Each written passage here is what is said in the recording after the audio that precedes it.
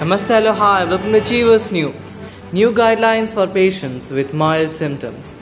Tests not required after 10 days of home isolation, New Delhi.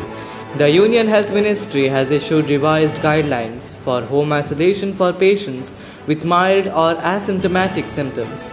The new revised guidelines said patient under home isolation will stand discharged and end isolation after at least 10 days have passed from onset of symptoms or from date of sampling for asymptomatic cases and no fever for 3 days.